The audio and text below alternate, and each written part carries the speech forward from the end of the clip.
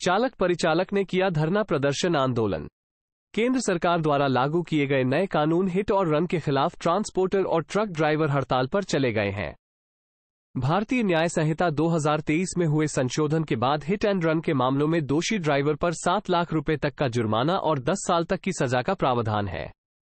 एक और जहाँ पूरे देश में वाहनों के पहिए रुक गए हैं जिसके चलते देश में अफरा तफरी का माहौल है।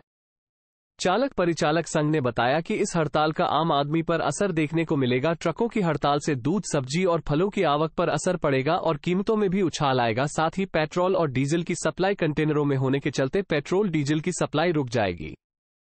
जिसके चलते पिछले कुछ दिनों पहले से ही लोग पेट्रोल पंप में लंबी लंबी कतारों में देखे जा रहे हैं और ज़रूरत का सामान भंडारण करने में जुट गए हैं। वहीं दूसरी ओर मध्य प्रदेश के सिवनी ज़िले के केवलारी नगर के परिचालक संघ ने हिट एंड रन कानून के खिलाफ रैली निकालकर अनुविभागीय अधिकारी राजस्व एवं थाना प्रभारी केवलारी को ज्ञापन सौंपा।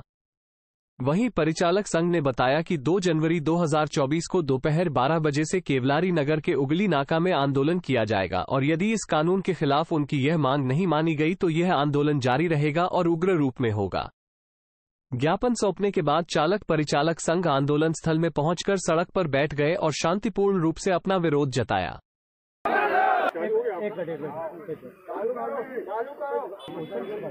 चालक परिचालक द्वारा हड़ताल किया जा रहा है इसका क्या उद्देश्य है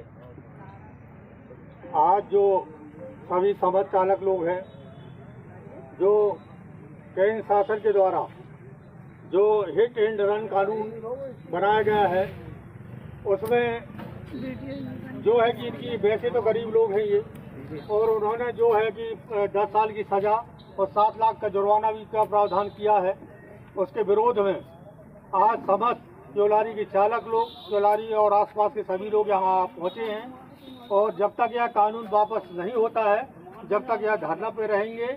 और आज तो यह पहला दिन है, जिसका हमने ज्ञापन सम्मानी एसडीएम साहब को दिए हैं सम्मानी श्री टीआई साहब तिवारी को दिए हैं। अगर यह जल- जल्दी अगर यह कानून वापस नहीं लेते हैं तो यह ड्राइवर संघ उग्र आंदोलन करने में तैयार रहेगा। इसके लिए शासन प्रशासन जिम्मेदार रहेंगे। Driver union. Driver union.